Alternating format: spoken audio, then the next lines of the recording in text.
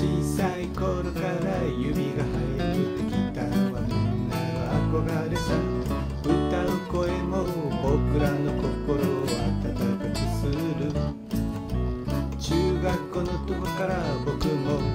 あなたの姿を追い続けて追いつけないことに気づいた時には親父になってたよ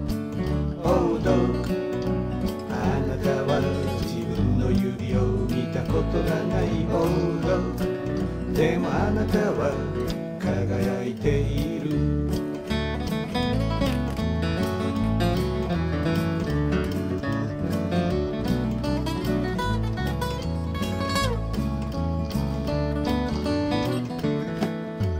とても大切で偉大なあなたを僕らは失ってしまったけどあなたの心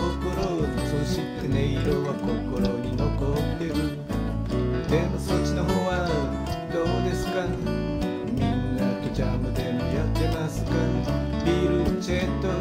スターそしてパールもいますよね。オードあなたは自分のギターを見たことがないオードでもあなたは